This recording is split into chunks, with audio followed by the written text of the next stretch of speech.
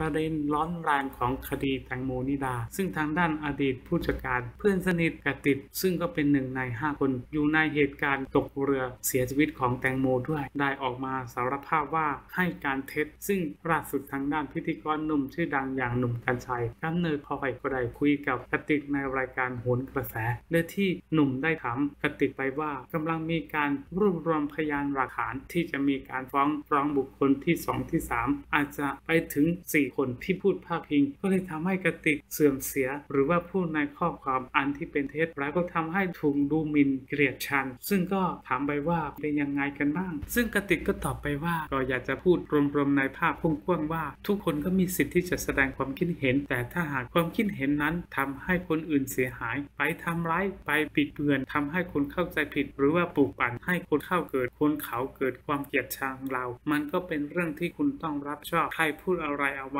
ต้องรับผิดชอบต่อพูดของตัวเอง แต่สำหรับประชาชนทั่วไป เราเข้าใจว่าทุกคนรักโม แต่ก็มีอารมณ์ร่วมกับเขา อาจจะเข้าใจไปต่างๆ นานา ถูกบ้างผิดบ้าง มาคอมเมนต์อะไรถึงเรา อันนี้ก็โอเคเข้าใจได้ไม่ว่ากันทางด้านหนุ่มก็รีบตอบไปว่า เดี๋ยวนะเดี๋ยวนะ พูดว่าตัวป่านพี่สะดุ้งเลยนะ ไม่ได้หมายถึงพี่ใช่ไหมล่ะกระติกตอบกลับไปว่าไม่ใช่นะครับพี่พี่หนุ่มถามต่อไปว่า คนที่พูดถึงหมอของขวัญหรือเปล่าหรือว่าแอนนาหรือว่า่าฮิปโปหรือเปล่า คุณจะฟ้องพวกเขาหรือเปล่า ผมถามแบบตรงๆเลย ทางด้านกติกก็เผยต่อไปว่า เธอไม่ได้พาดพิงถึงใคร ขอทิ้งคำพูดเอาไว้แค่นี้ ใครพูดอะไรเอาไว้ ก็จงรับผลจากการกระทำเหล่านั้น รับกรรมกับสิ่งที่พูดไปนะครับ